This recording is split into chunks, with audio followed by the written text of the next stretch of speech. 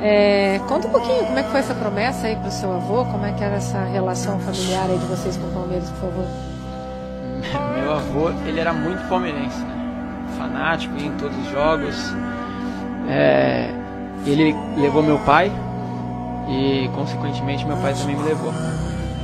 E meu avô sempre falava que queria me ver jogando no Verdão, no Verdão, no Verdão. E eu sempre concordava, beleza, beleza. Só que ele estava na, na cama da UTI. É, e eu acho que pela última vez que eu vi ele, eu cumprimentei ele. Quando eu estava saindo, ele pediu para eu voltar. E quando eu voltei, ele falou assim: Rafa, vou te pedir uma coisa. Se você tiver oportunidade, joga no Palmeiras, tá? Um abraço. Eu cumprimentei ele e não vi mais ele. Sabe? Quando meu pai foi descer a sepultura, ele escreveu um bilhete e colocou na mão do meu pai. E antes que o caixão fechasse, ele saiu, eu fui lá e peguei o bilhete. Tem comigo até hoje. Estava escrito assim, é, vô, eu ainda vou te dar muitas alegrias no futebol. então, isso aí, né? Tá comigo até hoje guardado. Eu não sei se ele sabe, mas um dia eu mostro pra ele.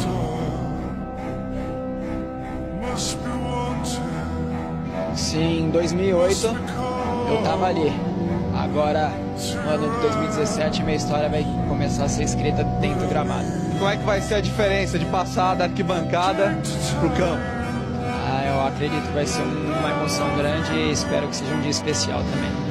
17 jogos eu já tava vendido pro Palmeiras. Feliz da vida, né? Indo pro clube de coração. É, assim. feliz, feliz porque, pô, eu tava largado lá, né? Treinando separado, com outra roupa. Caralho.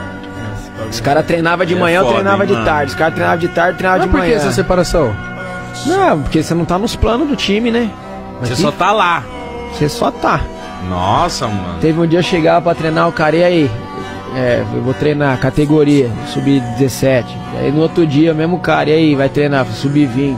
Cada dia eu falava uma categoria, irmão. Nem o cara me conhecia. Que Entendeu? doideira, hein, mano? É, aí pô, chega lá um dia pra treinar, cadê o maluco pra me dar o treino? Não tá lá. Aí liga pro maluco, cadê? Puto, mano, é agora, achei que era de tarde. Daí faz sozinho. Tá ligado? Embaçado, é esses bagulho assim que tipo, você olha assim e fala, mano, vai valer a pena mesmo, por mais que você tá querendo fazer acontecer.